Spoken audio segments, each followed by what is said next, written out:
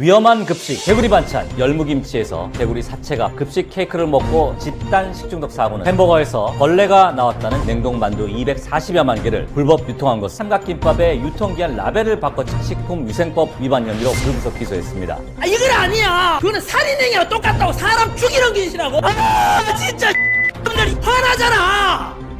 아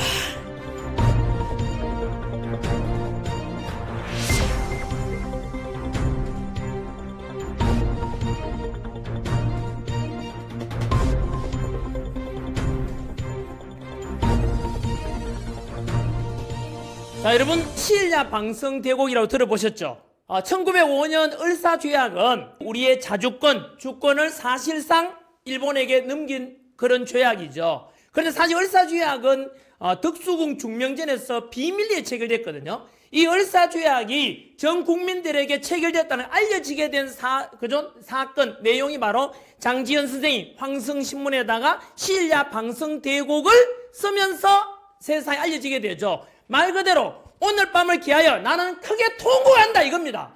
을사주약을 맺은 그 을사 오제 생각하면은 이 나라 이 목놓아 통곡한다. 이 장지현 선생의 울분 국민들의 울분을 대신해서 표현한 건데요. 여러분 지금 우리나라에도 이런 비슷한 일이 발생하고 있어요. 개구리 반찬이다.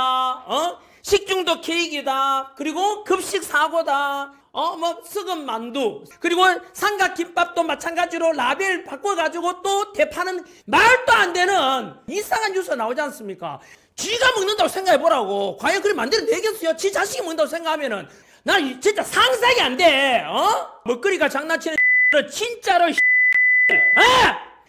중요한 게 먹거리 아니냐고. 언제나 먹는 것은 안전한 식품, 안전한 먹거리가 제공된다는 전제가 있는데 그걸 만드는 사람들이 말 아직도 안전 불감증에 걸려가지고 어? 식품 안전 인정도 받지 않고 유통시키는 이런 문제들이 아직도 있다 말이 되냐고 이게 말이야. 어?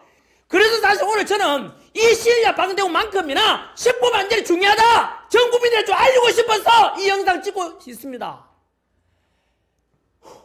앞으로는 제발 먹는 것 가지고 장난치지 말자고 어? 그리고 제발 전 국민들과 함께 공감대를 형성했으면 좋겠어요. 더 이상 이런 문제가 생기지 않도록 말이야. 우리가 감시하고 그리고 철, 철저하게 처벌하고 그들의 책임을 묻고 그래서 더욱더 먹거리가 안전한 대한민국이 되기를 바랍니다.